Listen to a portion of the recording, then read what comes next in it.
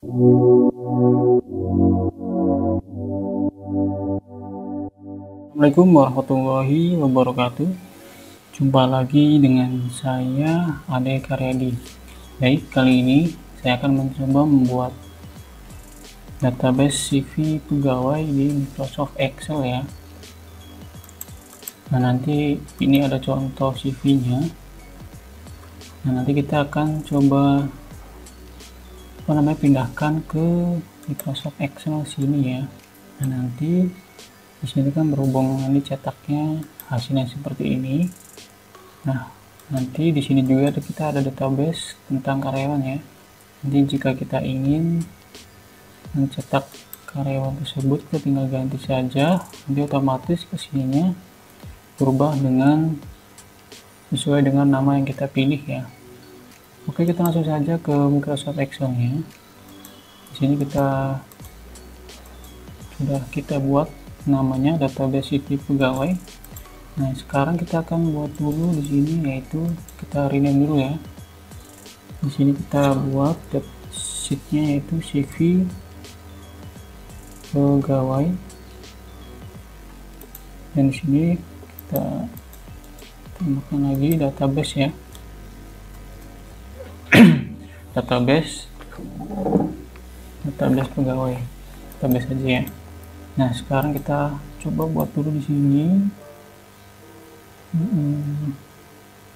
Nah kita di sini sudah ada ya. Kita akan buat dulu sih kita buat nama dulu ya. Kalau enggak kode ya. Kita buat dulu di sini ya. Yaitu kita tarik sini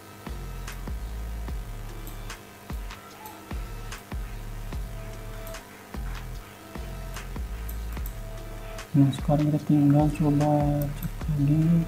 Nah, kita buat garis ini dulu ya. Abu-abu abu-abu putih ya. Oke di sini kita coba tarik. Ganti warnanya abu-abu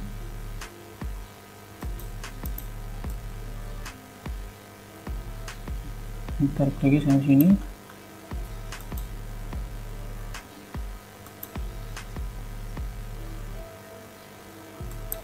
abu-abu lagi. Di sini putih ya. Oke kita cek lagi. Nah benar ya. Nah sekarang kita buat dulu di sini yaitu insert ya. Insert untuk apa namanya fotonya dulu sini.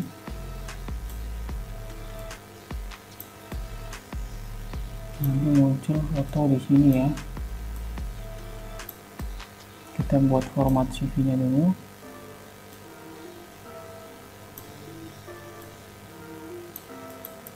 oke. Kita buat ini ya.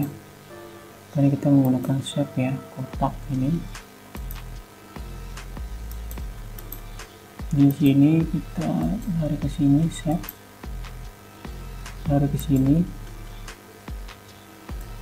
Kita geser ke sini. Oh. nah ini kita ganti dengan warna biru tua ya tadi ya ini garisnya kita ganti dengan warna biru. Kita geser ke kiri.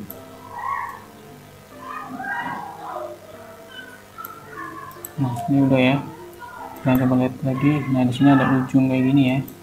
Untuk segitiga. Kita coba cek sini. Kita cari segitiga yang ini ya. Oke kita kita kembalikan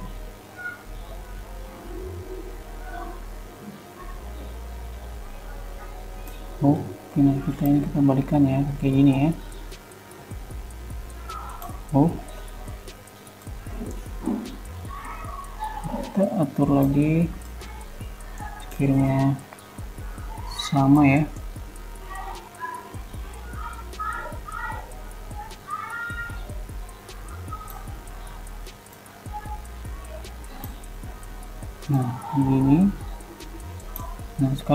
ganti lagi warna itu samakan nah sama ya. Nah sekarang kita tinggal atur untuk ininya. Tapi ini namanya kontak. Kita kasih nama kontak. Kontak. Nah sekarang kita grupkan ya. Biar aman. Nah di sini sudah. Kita besarkan dikit oke. Ini kontak kita rata tengahkan nah seperti ini ya.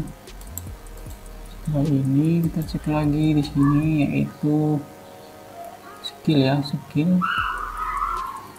Dan apa namanya ini? Bahasa ya. Kita copy aja. Paste. Taruh di sini ya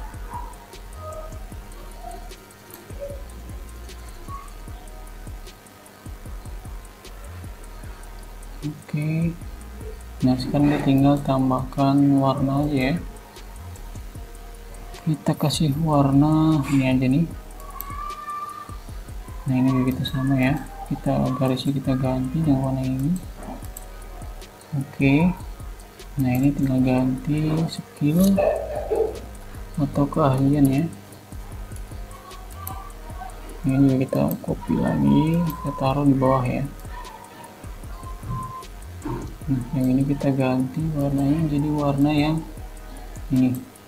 Garis juga kita sama kita ganti. Nah ini spinnya kita ganti jadi language ya. Jangan lupa kita save. Nah setelah ini kita tinggal tarik ke bawah dulu ya ini kayaknya kurang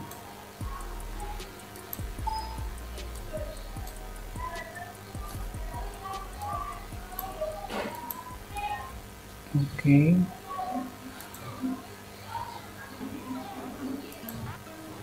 Nah setelah ini coba kita cek. Nah ini udah ya. Kita setelah ini kita tinggal atur untuk nama ininya. Nah, nama ini ya. Nama apa sih namanya? Nama profil ya. Kalau kita isi dulu yang ini ini kita copy aja ya biar cepat ya.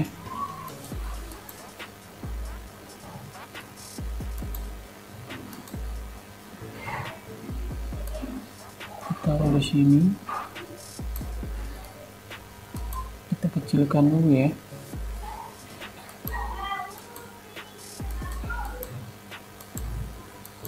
Oke. nah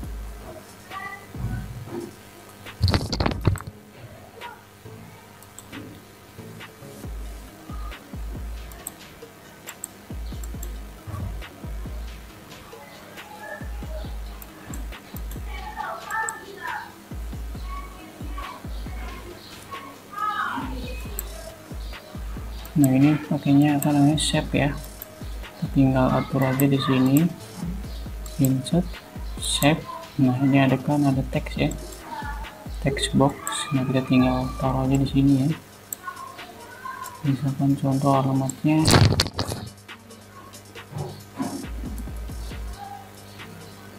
Jalan Merdeka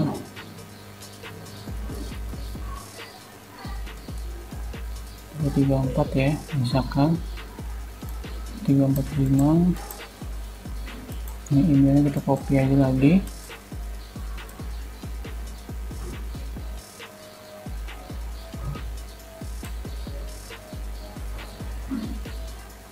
Sekarang emailnya kita ganti jadi adekaryadi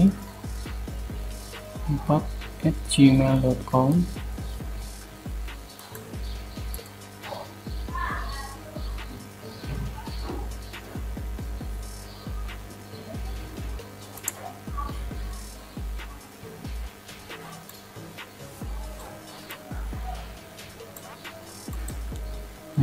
tinggal tambahkan lagi ya. Kalau kita tinggal geser aja ini. Ke kanan oke. Nah ini WhatsApp ya. Kita tinggal copy save nya pastekan di sini. Tambahkan apa namanya nomor ya 08 2318 09 4240 oke nah ini sudah ya. Ini kan kurang ya. Kita tinggal tarik aja ke kanan. Kita cek dulu di sini ya.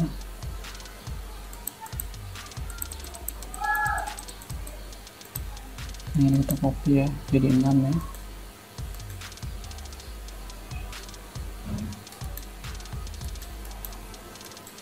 Ini jadi 6 nah ini juga kita jadi 6 ya. Oke. Dan kita save nah nanti kita di sini kita isi yaitu apa namanya? Skill ya. Skillnya nggak usah kasih ini lagi ya. Kalau enggak skillnya kita fullin aja semua ya. Kita copy kalau kita buat ulangnya dari awal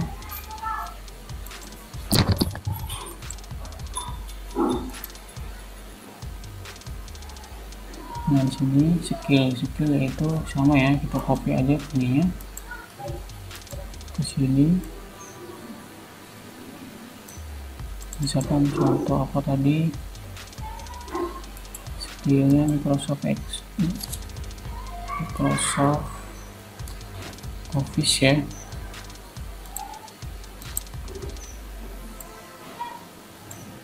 Nah nanti kita tinggal taruh di sini kita skillnya kita kasih isi tiga aja ya yang naiknya.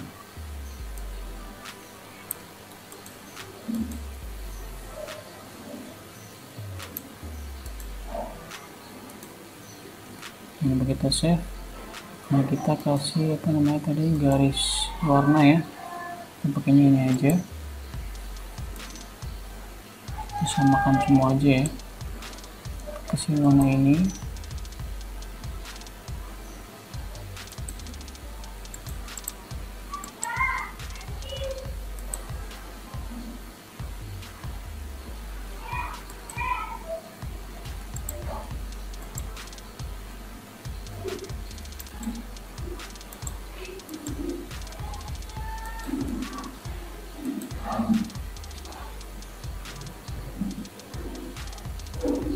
coba kita save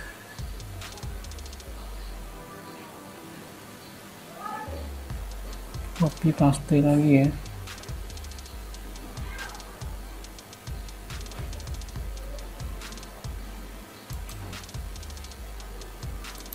Nah seperti ini ya. Coba kita save kita tinggal ini kita geser ke panjangnya misalkan.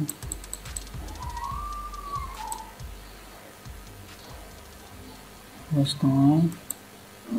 Dan ininya dua ya. Nah kayak gini ya. Oke tinggal language. Ini juga sama ya. Kita mesti kita kasih dua aja.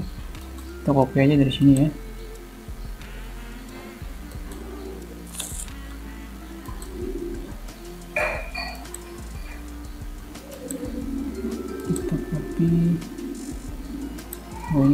geser aja ya.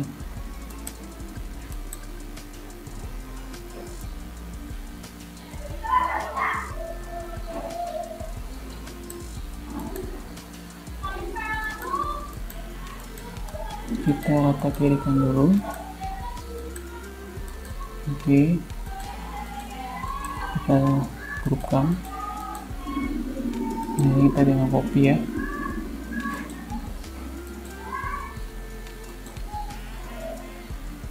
copy dari, dari atas ke sini. Nah ini tinggal copy paste. Taruh sini. Ini kita hilangkan satunya.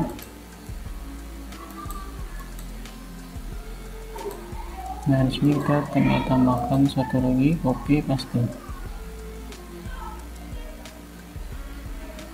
Jadi nanti tiap tiap keahlian kita batasin untuk language 2 skill 3 dan untuk kontaknya ada 3 di sini ya. Kenapa dibatasi karena untuk menyesuaikan tampilan format CV nya nah di sini sudah ya. Ini kayak terlalu padat ya. Kita geser dulu.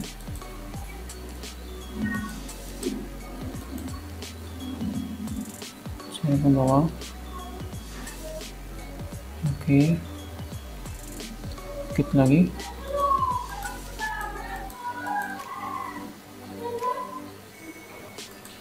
Oke. Nah kita save nah setelah ini tinggal atur untuk di sini ya apa namanya? Warna warna untuk warna untuk garisnya. Kita kasih warna apa ya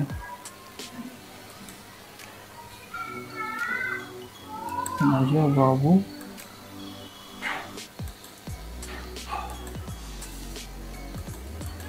nah garis ini ya. Nanti barisnya ini. Nah kalau kita save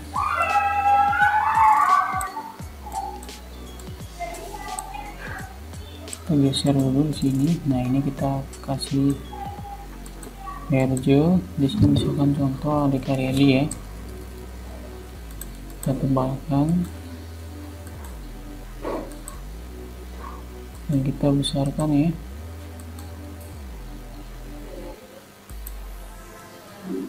Jangan lupa kita save ya. Nah di sini kita tinggal tambahkan kurikulum kurikulum ya. Kurikulum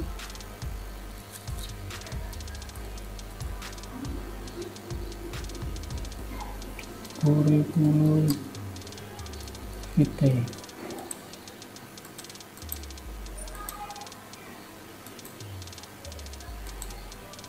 Geser ke bawah. Nah kayak gini ya. Jangan lupa kita save.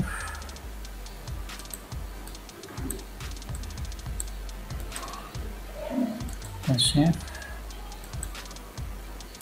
Nah sekarang kita tinggal kasih garis di sini garis bawahnya yang ini ya. Oke. Ini sudah. Nah, tentang botnya ya. Nah, itu bot me kita tinggal atur aja di sini ya.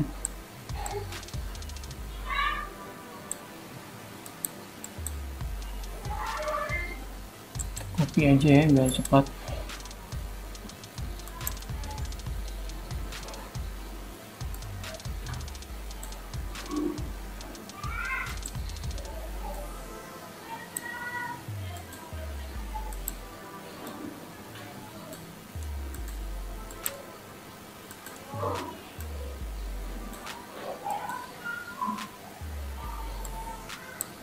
ini kita isi dengan dengan apa namanya? Tentang kita di sini. Misalkan saya nama siapa kalian kalian kita apa ini kita taruh aja di sini. Nah ini juga kita sama ya untuk jenjang apa namanya edukasi kita batas aja ya untuk jenjang pendidikan terakhir aja ya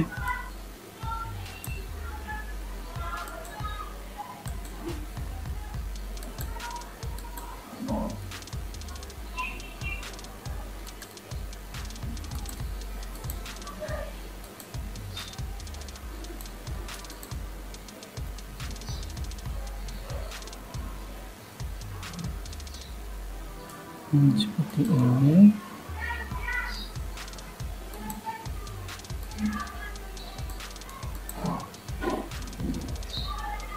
Kasih udah. Lalu kita tambahkan lagi di sini pengalaman ya kita copy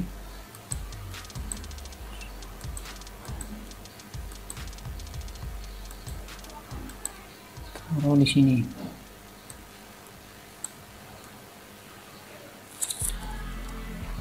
ya ini kayaknya kurang panjang ya.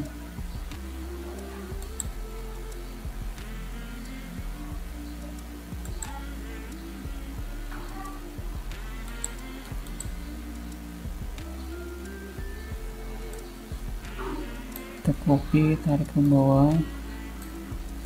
Nah, seperti ini.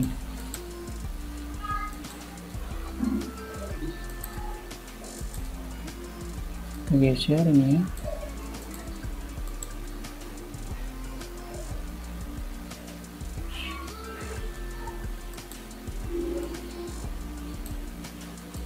Nah seperti ini ya untuk pengalamannya. Kita batasin jadi dua atau tiga ya nanti. Jadi untuk untuk apa namanya? Nah, perusahaan. Plus tahun. Dan jobdesknya ya kita keterangannya di sini. Nah ini sudah jadi ya untuk apa namanya? Template nya nah di sini kita copy dulu ya copy dulu aja untuk fotonya kita masukkan di sini.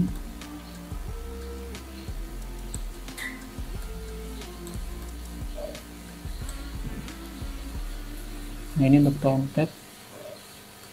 Namanya? Template CV lamaran kerjanya. Nanti setelah ini kita akan buat database nya di sheet database. Kita save dulu ya. Kita print area dulu. Kita satukan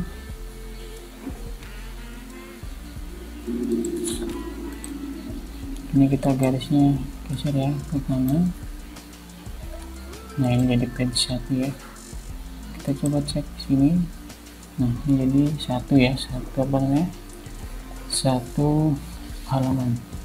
Nah nanti kita tinggal itu untuk isi katanya di sini. Ini ketika kita klik namanya nama di sini sesuai yang kita pilih nanti data yang ini akan berubah dengan sendirinya sesuai dengan database pegawai yang ini ya.